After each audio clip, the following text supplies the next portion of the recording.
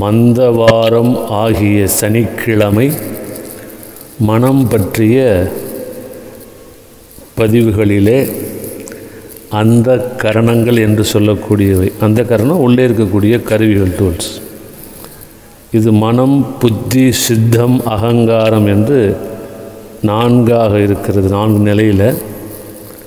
இதில் அகங்காரங்கிற வார்த்தைக்கே நிறைய பேர் நிறைய குருமார்கள் கூட யோகாசனம் இந்த மாதிரி சொல்லிக் கொடுக்கக்கூடிய குருமார்கள் தவறான அர்த்தங்களை தான் சொல்லிக் கொடுக்குறாங்க காரணம் அவங்களுக்கு ஒரு மெய்யான குரு காட்டவில்லை.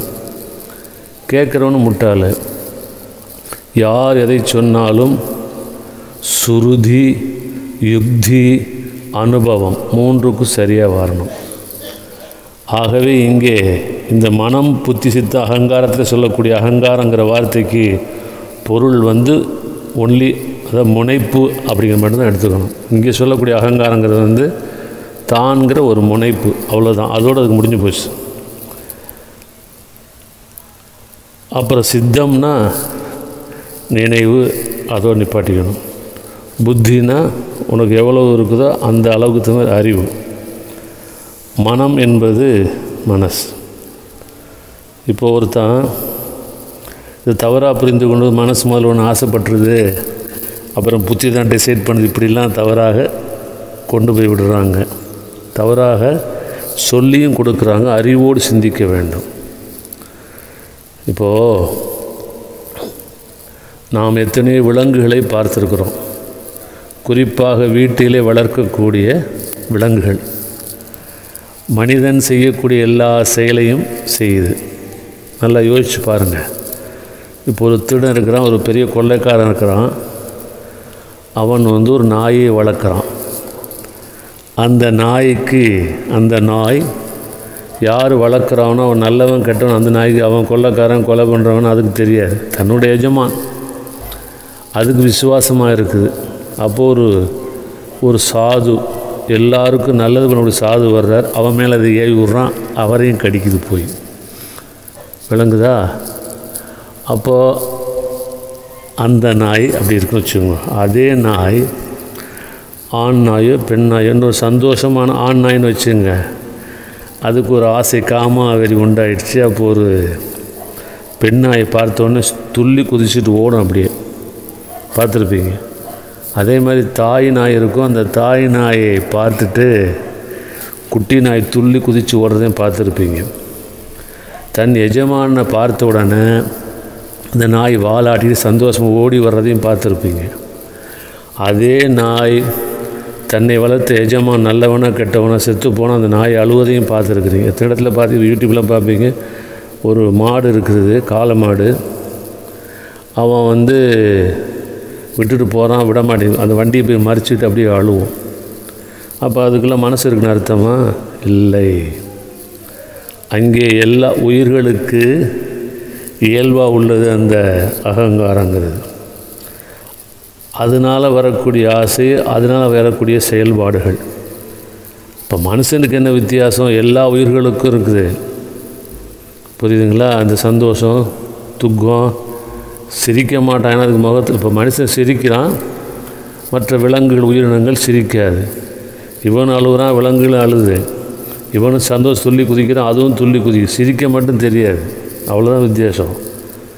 அப்போ அதுக்கு வந்து அந்த மாதிரி துள்ளி குதிக்கிறதுக்கோ நன்றியோடு இருக்கிறதுக்கோ இல்லை மனுஷன் சொல்லி கொடுத்த மாதிரி மனுஷன் செய்யக்கூடிய வேலையை எத்தனை விலங்குகள் செய்யுது? அப்போ அதெல்லாம் மனசு இருக்குன்னு அர்த்தமாக அப்படி அல்ல.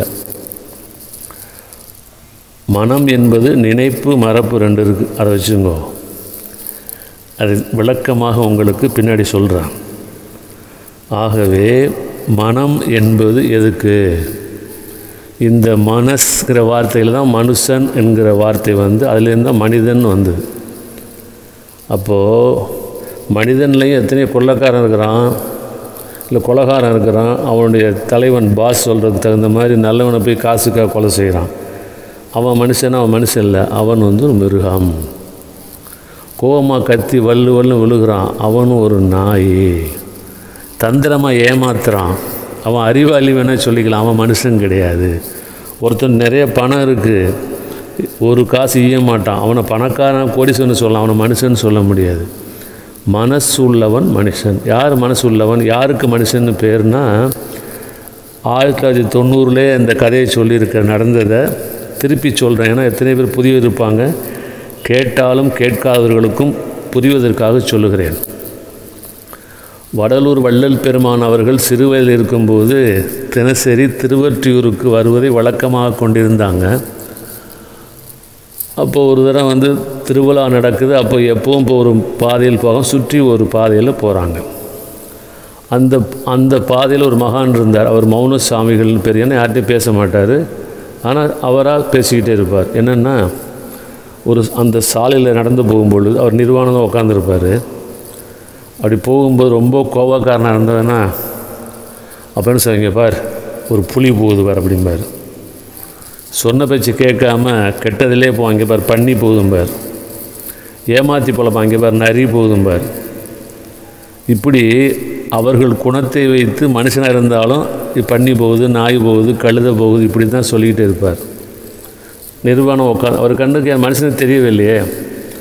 அன்றுதான் முதல் முதலாக வள்ளல் பெருமான் அந்த சாலையில் போகிறார். அதை அந்த அந்த மகான் அந்த ஞானி சித்தர் பார்த்து விட்டு பக்கத்தில் இருந்த போர்வையை எடுத்து போத்திட்டு அதோ மனுஷன் போகிறான் மனுஷன் போகிறான்னார் ஏன்னா இப்போது விலங்குகள் கூட அது குட்டியோ தாய் செத்து போன அழுவதை பார்த்துருக்குறோம். காக்கா இன்னொரு காக்கா செத்து போன பார்த்து அழுதை பார்த்துருக்குறோம் கத்துது.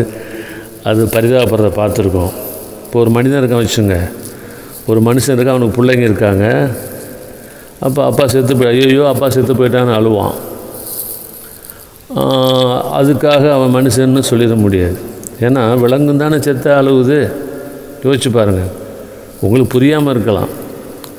ஆனால் இன்னொருத்தன் துன்பப்படுறான். தன்னுடைய பையனோ தன்னுடைய மகனோ கூட பிறந்த சகோதரனோ மனைவியோ இப்படி உறவுக்காரங்கள் எல்லாம் கஷ்டப்படுற பார்த்து உடனே துக்க போடுவான் மனுஷன்.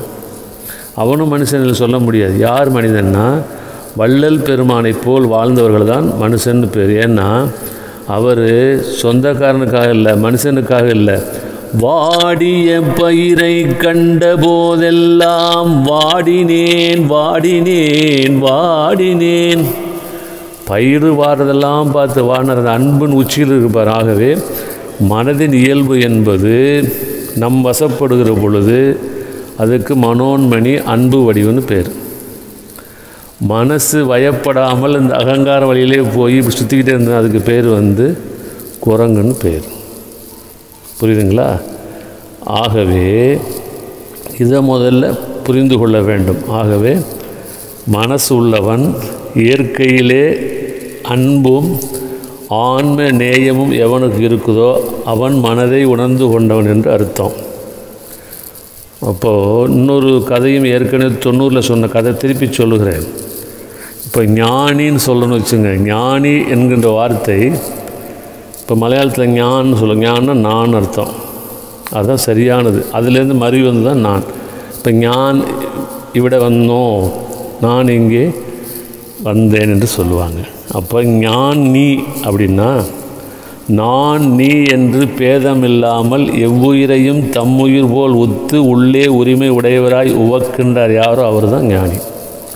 அதுக்கு ஒரு பழைய கதை சொல்லியிருக்கு. எப்படின்னு கேட்டால் ஒரு அந்த ஊருக்கே ஒரு ரவுடி குலத்துக்கு ஒரு பாஸ் அவனை பார்த்து எல்லோரும் பயப்படுவாங்க. தெருவில் நிறைய பேர் அப்படி தான் இருக்கிறாங்க தெருவில் நடந்து போகவே பயப்படுவாங்க. அந்த தெரு வழியாக ஒரு ஒருவர் நடந்து நிர்வாணம் போகிறார். அங்கே அந்த தெருவில் உள்ளவங்களுடைய பெண்கள் சகோதரி மனைவி குழந்தையெல்லாம் இருக்கிறாங்க. போகிற பார்த்துட்டு என்னடா நம்ம ரோட்டில் வர்றதுக்கே பயப்படுவாங்க? இப்போ நிர்வாணம் எவ்வளோ தும்முறாக வர்றான்னு சொல்லிட்டு ஏய் யாரானின்னு சொல்லி ஒருத்தன் அடிச்சிடுறான் தெருவில் இருக்க ஒரு ஆள். ஓங்கி நல்லா அடிச்சிடுறான். இன்னொருத்தன் பார்க்குறான். ஏன்னா அது இவ்வளோ அடி அடிக்கிறான்? ஒன்று திருப்பியாவது அடிக்கணும் இல்லை அது ஏன்டா அடிச்சேன்னு கேட்கணும் அல்லது வலிச்சதுக்கு ஐயோ ஐயோ கத்துணும் ஒன்றுமே நோ ரியாக்ஷன் ஒருவேளை மகானாக இருக்குமோ அப்படின்னு சொல்லிட்டு கையில் பழத்தை கொண்டு ஐயா சுவாமின்னு சொல்லி அந்த பழத்தை கொண்டு கொடுக்குறான் கையில். கையில் இருக்க வழியாக அந்த பழத்தை வாங்கினதுக்கு ஒரு ரெஸ்பான்ஸ் கூட இல்லை. மூணாவது ஒருத்தன் பார்க்குறான். இவன் பைத்தியம் இருந்தால் கூட அடித்ததுக்கப்புறம் கையாமல் ஐயோ ஐயோன்னு அழுதுருப்பான் அழுவில். மகான் ஞானின்னா ஆசீர்வாதம் பண்ணி ஆசீர்வாதம் பண்ணலை. இவன் யாரா அவனு அவனுக்கு சந்தேகம் போய் அந்த தெருவில் ஒரு நாட்டாமல் இருக்கிற கொஞ்சம் படித்து ஓரம் தெரிஞ்சாள் அவன் தான் அந்த ஏரியாவுக்கு பாஸ் அவன்கிட்ட கையை பிடிச்சி இழுத்துட்டு போகிறாங்க அப்போவும் அப்படியே போகிறார் ஒன்றும் கண்டுக்கல. அங்கே போனதுக்கப்புறம் என்னடா நாலு பேர் யாரா புது ஆள் என்ன விஷயம்னா இல்லைங்க நம்ம தெருவில் பாரு எவ்வளோ துமுறு இருந்தால் நிர்வாணம் வந்திருப்பான். அடித்தாலும் அவன் வந்து கொஞ்சம் கூட அசையலை கொஞ்சம் கூட அது முகத்தில் ஒரு சுளிப்பு. என்ன சரியான அடி ஐயோமையை கத்த வேண்டிய அளவுக்கு அடிச்சிருக்கான். கொஞ்சம் கூட அசையலை. இவன் பாரு ஒரு சாமியார் நடித்து கையில் பழம் கொடுத்தா அதுக்கும் ஒரு ஆஸ்வாதம் பண்ணல. இப்போ யாருன்னு விசாரிங்க. அப்படியா? உடனே அவரை பார்த்து நாங்களாம் பேசின பதிலே சொல்லலான்னா அந்த பஞ்சாயத்து தலைவர் கேட்குறாரு யாருப்பா நீ? அப்போது யார் யா உன்னை கல்லால் அடித்ததுன்னு கேட்டாங்க. அப்போது பழம் கொடுத்தவன் கல்லால் அடித்தான்ங்கிறார். அது பழம் கொடுத்த தேவைக்கிறான் இப்போ யார் பழம் கொடுத்தது? கூட்டி வந்தவன் பழம் கொடுத்தான். யாரா கூட்டி வந்தா? பஞ்சாயத்து செய்யும் நீ கூட்டி வந்தான்னார் அப்போ அடித்தவன் பழம் கொடுத்த எல்லாத்தையும் ஒன்றா பார்க்குறான். அவன் தான் ஞானி. அதுபோல் எல்லா உயிர்களிலும் நீக்கமர இறைவன் கலந்துள்ளார். நம்ம ஆன்மா தான் அவ ஆன்மா எல்லாம் ஒன்றுன்னு ஆன்மனே இருக்குது பாருங்கள் அந்த அன்பு தான் மனசனுடைய இயல்பு. ஆகவே அங்கே உணர்வும் எண்ணங்களும் சேர்ந்து அங்கே இருக்கிற அதை பிரிக்கவோ சேர்க்கவோ தெரிஞ்சுக்கிட்டால் நீயும் ஒரு சித்தன். விளங்குதுங்களா? ஆகவே நல்லா புரிந்து கொள்ள வேண்டியது சி முதல்ல அகங்காரத்திலிருந்து சித்தம் என்பது நினைவு தோன்றியது. அதிலேருந்து அறிவு தோன்றி அதுக்கப்புறம் தான் இந்த பஞ்ச புலன்களோடு சேர்ந்து இருக்கிற மனசை மட்டும் வச்சு மனசை எடை போடுறான். இது பஞ்ச புலனோடு சேர்ந்து இருக்கும். இதை விட்டு பிரிந்து ஆத்மஸ்வரூபத்தில் இருக்கும். அதனால தான் மனசு என்னன்னு அறிஞ்சிக்க முடியல. இப்போ மனசு வந்து மூளையில் இருக்குன்னு சொன்னால் வச்சுங்க இப்போ பிறக்கும் பொழுது பிறந்த குழந்தைக்கு அப்போ அந்த மூளையிலேருந்து ஏன் வேலை செய்யலை? நாலு வயசு குழந்தை தான் பிஸ்கட்டுக்கு ஆசைப்படுது சாக்லேட்டுக்கு ஆசைப்படுது இனிப்புக்கு ஆசைப்படுது. சொந்தக்காரன் கூட தெரிஞ்சவனுக்கு சந்தோஷமாக இருக்குது தெரியாத ஆளுந்து பயந்து ஓடுறான். அவன்கிட்ட போய் ஒரு வைரத்தையும் ஒரு பிஸ்கட்டையும் கொடுத்து எது வாங்கும் அந்த குழந்த? ஆ? எதை வாங்கும்? அது பிஸ்கட்டு தான் வாங்கும். புரியுதா? ஆனால் அந்த குழந்தைக்கு ஒரு காம இச்சை இருக்குதா? அப்போது அப்போது எங்கே அந்த எங்கே போச்சு அந்த மனசு? ஏனென்றால் உந்தி கமலத்தில் இருந்து அங்கே மேலே ஒரு கனெக்ஷன் உண்டாகணும். அதுதான் ரகசியம். எப்போ உண்டாகும்? அதையெல்லாம் பின்னாடி சொல்லுகிறேன். இதை நல்லா புரிஞ்சுக்குங்க. ஆசீர்வாதம். அன்பும் அருளும் எங்கும் நிலைக்கட்டும். இப்போ மனசை பற்றியெல்லாம் இந்த பதிவுகள் இதுவரைக்கும் நீங்கள் புரிஞ்சுக்கிட்டா போதும் நான் தெளிவாக சொல்லுகிறேன். பிற்பாடு அடுத்ததாக இந்த மனசை பற்றி தெரிஞ்சுக்கணும் இல்லையா? அதுக்கு என்ன சக்தி இருக்குது அதை எப்படி பயன்படுத்தலாம்? எங்கே இருக்குன்ற? அதற்கான பயிற்சி உங்களுக்கு அடுத்த இப்போ பயிற்சி இப்போ தொடங்குகிற அடுத்த பதிவில் இருந்து அதுக்கப்புறம் அதை பற்றி விரிவாக தெரிந்து கொள்ளலாம். மன எண்ணங்கிறதையும் அந்த மனசை வச்சு எப்படி நாம் இந்த ஞானத்தை அடையலாம் லௌகிய வாழ்க்கையில் எப்படி வெற்றி அடையலாம்ங்கிறதுக்குள்ள பயிற்சியை உங்களுக்கு சொல்லிக் கொடுக்க போகிறேன்.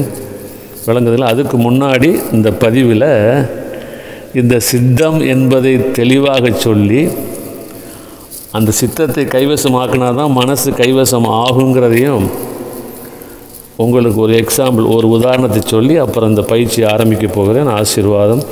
ஓ